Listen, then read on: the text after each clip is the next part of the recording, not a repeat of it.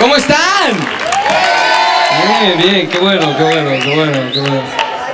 Ot- s- ¿qué? Ah, ¿Por qué sigue gritando? ¡Borrachos! Quiero ver que llegue hacia su casa. ¡Ah! ¿Cómo llegaste, hija borracha? Ya, voy a dormirme ya. Down. Hace poco me puse a pensar, las generaciones cada vez se vuelven más pendejas. O sea, si ustedes tienen, ustedes tienen sobrinos, primos, chiquitos. Y no por eso, y no por eso.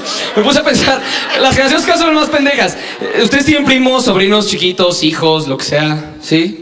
¿Sí? Va- Véanlos con lástima. Van, van a, van a crecer pendejos porque están siendo, una, están siendo parte de una de las generaciones más pendejas que existen. Y todo es porque tienen todo fácil. O sea, por ejemplo, hacer la tarea. A nosotros nos tocó ir a copiar tareas a bibliotecas, ¿se acuerdan? Así, estar copiando tareas de un libro, así, o en un libro en tu casa, así, que decía tu mamá, ¿qué estás escribiendo? No sé, mamá, no sé qué estoy escribiendo, ¿no?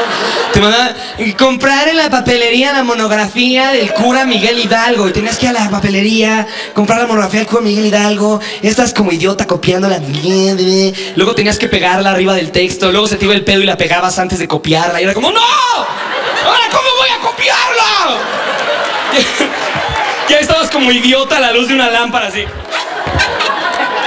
Leyendo al revés. del- No mames. Y ahora estos cabrones lo tienen muy fácil. Agarran su pinche internet, Miguel Hidalgo Wiki. Son tan huevones que ni siquiera escriben Wikipedia. así, Miguel Hidalgo Wiki. Ni siquiera tienen que imprimir, la mandan por mail. Esto nos tocó imprimir tareas. ¿Se acuerdan que pinches impresoras de.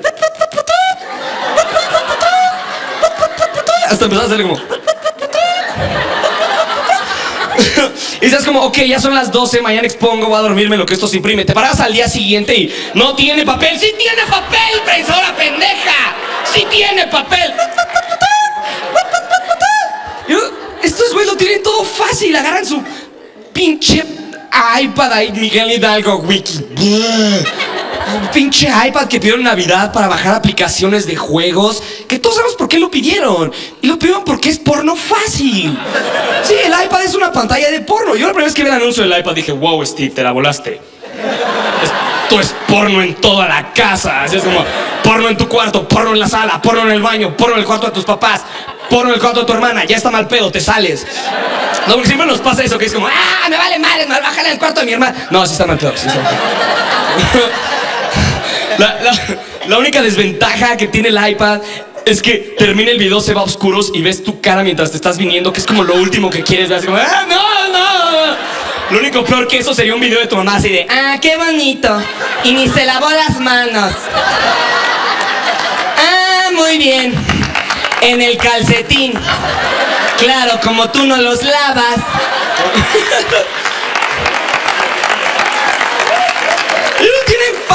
Fácil, buscan lo que sea, y todo fácil, you porn.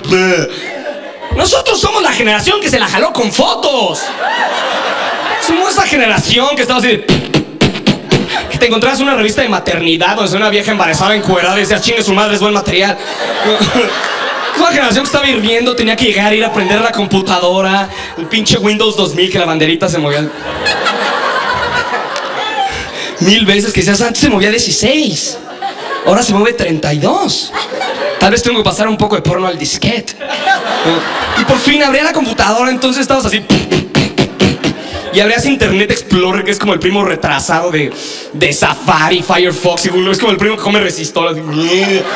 Y lo abrías porque no habría otra cosa. Y te tenías que conectar así.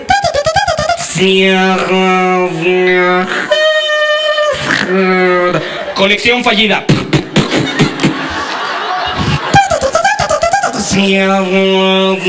Por fin entrabas, por fin entrabas.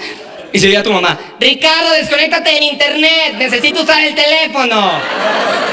Llegaba tu mamá y te decía, voy al súper, necesitas algo. Sí, mamá, que te vayas. Por fin entrabas. Conexión fallida.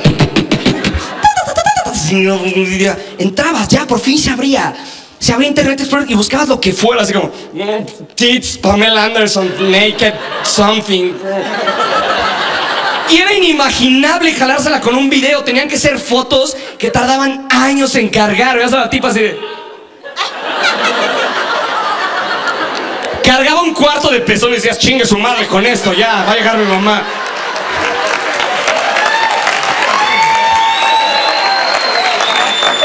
Somos la generación que se volvió zurda de mouse. Somos esa generación, porque tenemos que estar escroleando. De repente oías un ruido y te parabas. Doña Mari.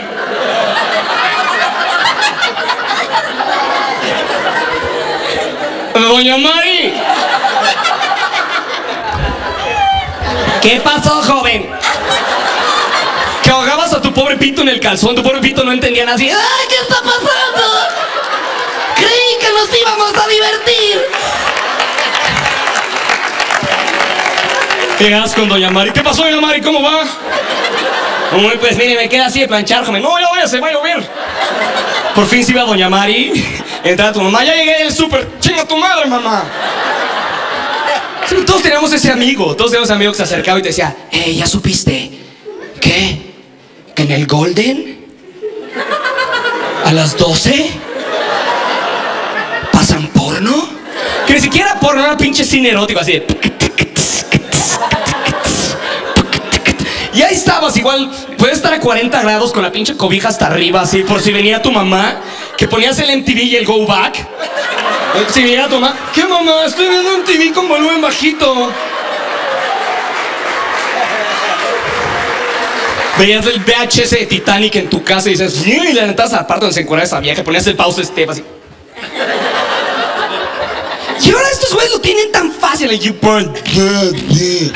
Todo, todo los está haciendo idiotas porque la realidad es que tienen todo muy fácil. O sea, a nosotros nos tocó más difícil.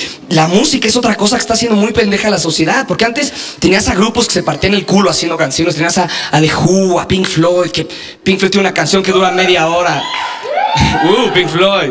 Digo, ya, el tío, ¿no? El tío, el tío que se faja, es el tío que se faja y dice los éxitos en español. Uy, uy, otro ladrillo en la pared. ¿no?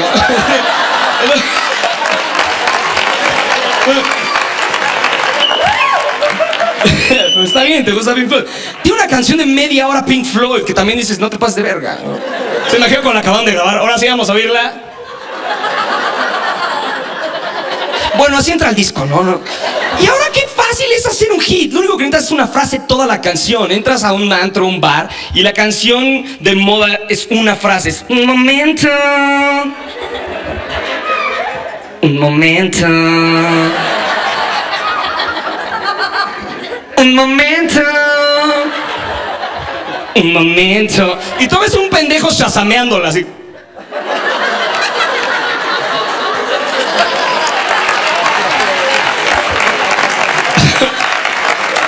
Solo para joderlo, te acercas a preguntarle, güey, ¿cómo se llama la canción? Este, un momento. O sea, qué fácil es hacer un hit ahora. Lo único que necesitas es un beat que se repita toda la canción. Así como, tic-top, tic-top, tic-top, tic-top, tic-top, tic-top.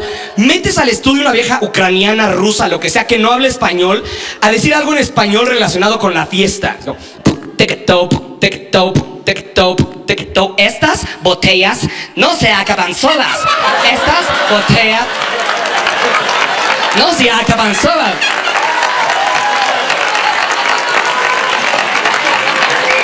Y vas a ver a las tipas en el antro. ¡Ah! ¡Niñas de nuestra canción!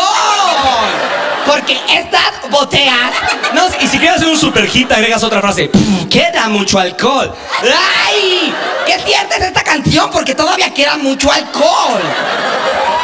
Ya si quieres hacer el hit del año, metes un rapero a media canción que nadie conozca, así como DJ Negro. A decir algo relacionado con la fiesta, así como.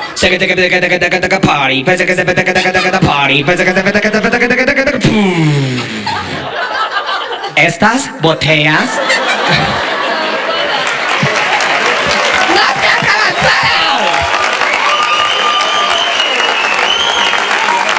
El reggaetón es otro género tan fácil de hacer. Se dan cuenta el reggaetón, siempre hay un güey enojado y uno romántico.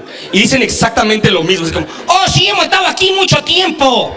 Oh sí, hemos estado aquí mucho tiempo. Con las letras más machistas que existen. Oh sí, si no vas a coger, ponte a barrer. Oh sí, si no vas a coger, ponte a barrer. Porque tu obligación. Porque eres mujer. Y ves a las tipas en antro, porque es tu obligación.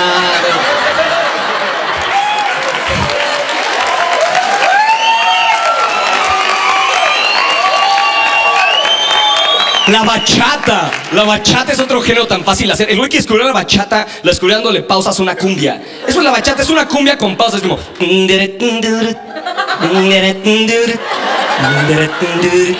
Y lo único que hace es agregarle frases naquitas románticas a toda la canción, así de Yo bailo contigo, tú bailas conmigo, sácate una chichi, me imagino la otra.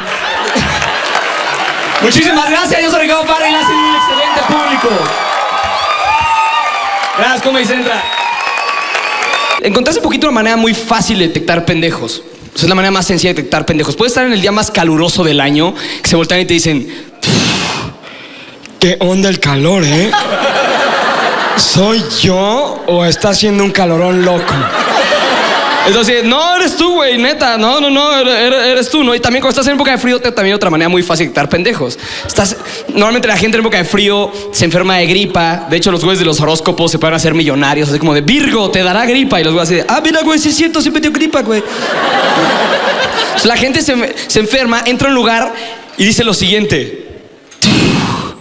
Güey, me caga estar enfermo. La declaración más pendeja que puedes hacer. Nadie se va a voltear y te va a decir como, ¿neta? A mí me mama estar enfermo, güey.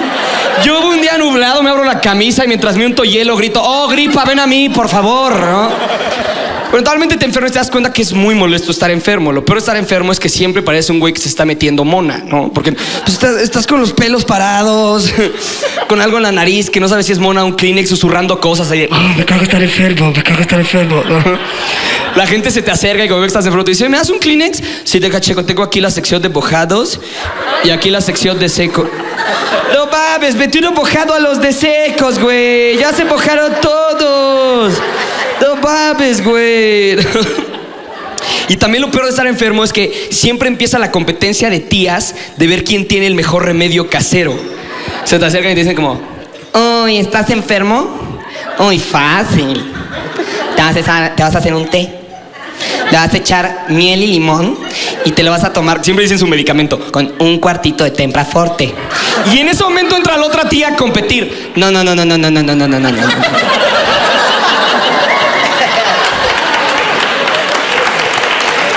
Te vas a hacer un té. Le vas a echar miel, limón, ajo y cebolla. Y te vas a tomar todo eso con un jugo de naranja y un cuartito. No, medio tempraforte. Y ves a la otra tía. Entonces va a ser así. Ok. No, no, no, no, no, no, no, no, no. Te vas a hacer un té. Le vas a echar miel, ajo, cebolla, té de bugambilia. Te vas a tomar el jugo de naranja con un redoxón, la pastilla efervescente, un redoxón y medio tem... Chingue su madre. Un tempraforte. Y aparte un litro de agua de limón. Ya que te lo tomes todo, vas a salir al jardín a hacer una danza para que se sude todo, que se sude toda la enfermedad y después te vas a acostar así como Drácula. Súper importante que te acuestes así como Drácula y así se va a sudar toda. Y ves a la otra tía. Y ya se pira con el remedio casero. No, no, no, no, no, no, no, no. Vas a untar cocaína en la frente de un bebé.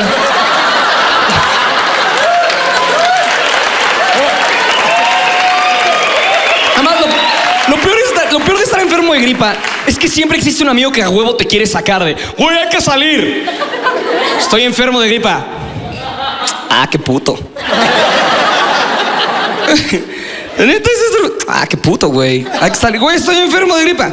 No mames, yo una vez salí, güey, me puse pedo y con el alcohol se limpió toda la enfermedad, güey. Al día siguiente ya estaba curado. Y existe ese amigo que a huevo te quiere sacar, que te quiere sacar, por ejemplo, al antro. A mí me cagan los antros porque de entrada es este lugar donde hay un chingo de grupos de gente que ves así como a los nacos, a los fresas, a los nacos que se creen fresas. Fresas que se creen nacos nunca vas a ver porque pues, no. eh. A los hipsters, a las siempre hay un grupo de gordas, ¿no? A mí me gusta decir la banda ancha del antro. Que las ves adentro así como de que están de malas porque nadie se las liga, que si chocas con una así de, perdón amigo, ¿te molesto? ¿Ok? Que están tomando Coca Light. Mi mamá que tiene ese chiste de tomar Coca Light en el antro. Es como la gente que le puso alarma a un Atos, así, ¡eh, vengan todos! ¡Tiene alarma! ¡Ya sé! ¡Estoy loco. Entonces, antes en el antro. Tienes que pasar. Tienes que pasar entre toda la gente así, te estás embarrando de gente, como fan naco en el Vive Latino de es la última vez que toca Caifanes, güey, hay que verlos. No mames, ¿quién te un pedo, güey? Ah, ya por fin llegas hasta adelante y. Popeye. Popeye. Po- Popeye, Popeye es un pinche gato que la mañana estaba comiendo chicharrón en salsa verde mientras se le brincaban aquí sus hijos y les gritaba como Irving, Brandon, se calman o no vamos al zoológico el domingo. Y ahora se puso un traje y decide quién entra y quién no. Entonces puede estar horas ahí, Popeye, Popeye, Popeye, Popeye, Popeye, ¿no? Después de que estás ahí mil años, se ve pasar un chavito como de 12 años y como, oye niño, el Burger King está allá, ¿eh? Y en eso les cuincles de, ¿qué pasa, Popeye? ¿Cómo estás? Y entra en chinga y tú... Ah, ya, es judío. Claro, marcó en la tarde oye, Popeye, vamos a ir al antro unos amigos y yo para que nos pongas la botellita de Moet, ¿no? Por favor. Yo veo a los judíos salir en viernes y me dan ganas de gritarles, ¡Ey, ¿qué no es Shabbat?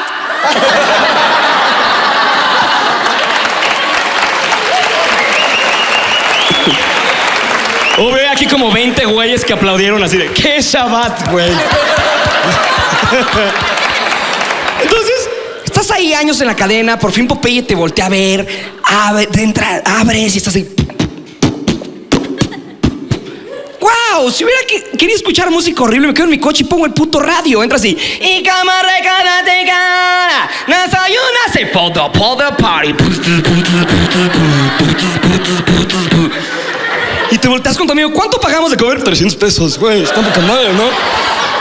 Y vas caminando hacia el antro y en eso a esa persona que no te querías encontrar, a esa te encuentras. Alto, gordo, chapeado, camisa Abercrombie rosa. ¿Qué pasó, papá? ¿Cómo estás, güey? ¿Y tú bien? ¿Y tú? Puta, güey. Pedísimo. Prueba mi cuba. Y ahí vas de idiota siempre. Ay, no, sí estás encima. Te digo, güey. Estamos chupando desde las 3 de la tarde. Llevamos tres pomos. Cada quien.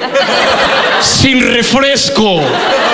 Y siempre tienen un idiota que les confirma todas sus historias, ¿no? O no, Curi. Curi aparece atrás de la espalda. Y te, y te lleva a su mesa. Y te dice, vente a mi mesa, güey. Tenemos un pomo pinche lápiz de bacardial que le queda un charco, te sirves. Llega una amiga a saludarte que te dice, ay, ¿qué haces aquí? Aquí barro, pendeja. Entonces, te sirves, le sirves a tu amiga, ¿no? Y de repente volteas y este cabrón está en el sillón así. Y digo, bájate, o sea, sí estás pelón y naco, pero no eres pitbull. Y aparte no lo van a dejar negar, cada canción es un recuerdo para esos güeyes, así como de te, te, te, te, te, te. ¡Acapulco! ¡Estábamos pedísimos o no, Curi!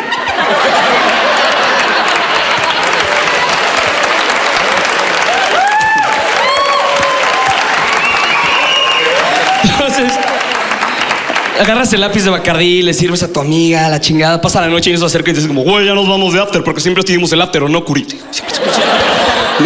Entonces llega la cuenta y pues, güey, me tomé un agua sabor Cuba, porque estos güeyes siempre dicen como, hay que dividirla, güey, legal. Legal, hay que dividirla, güey, legal. Legal, güey, legal, güey. Güey, súper legal. Legal, güey, súper legal. Legal es su palabra favorita. Legal, güey, legal, güey. Legal, legal, güey. Entonces, ya, sí, me tomé un agua sabor Cuba. ¿Cuánto toca por persona? ¿20 pesos? Este, son 350 pesos por persona. Y en ese momento entiendes por qué te saludó la amiga. Se voltea y dice como, ay, yo no traje dinero, eh. Pensé que no iba a gastar.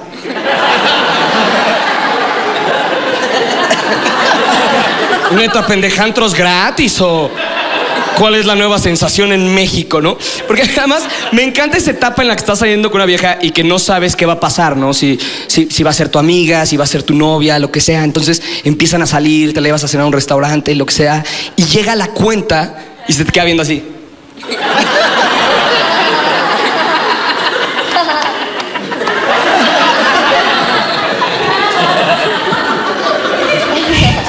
Tú sacas para pagar la cuenta, ¿no? Y en el momento en que sacas la cartera empiezan, ay, no, no, no, no, no, no, no, please, please, please, no, no, no, no, no, no, no, no, please, please, please, no, déjame, permite dividirla, por favor. Y hacen como que están buscando en su bolsa y está ahí la pinche cartera, está, no, no, no, no, no, please, please, please, no, no, no, está, la están viendo la cartera, no, no, no, no, no, please, please, please, pues.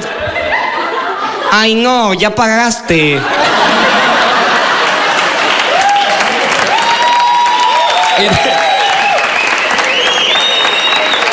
Y todavía, te- todavía tiene el valor de decirte, bueno, yo pago la próxima.